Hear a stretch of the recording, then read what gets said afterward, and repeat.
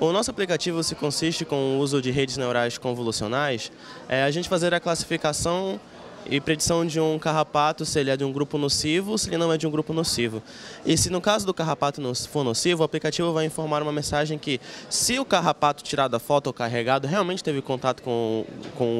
um corpo humano, porque pode ser que você veja um carrapato e só tire a foto, a gente vai indicar que a pessoa se dirija à unidade básica de saúde mais próxima, informando qual unidade é a mais próxima e dando um mapa com as possíveis rotas para ele chegar mais rápido. Sobre a questão da proposta do evento, foi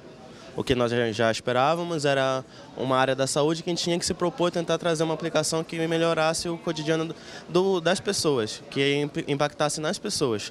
E a exemplo da aplicação que nós estamos desenvolvendo. Sobre a mentoria do evento, eu achei muito interessante